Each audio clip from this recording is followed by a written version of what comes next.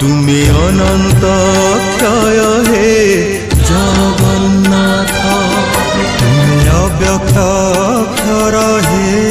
জগন্নাথ নিজ ইচ্ছার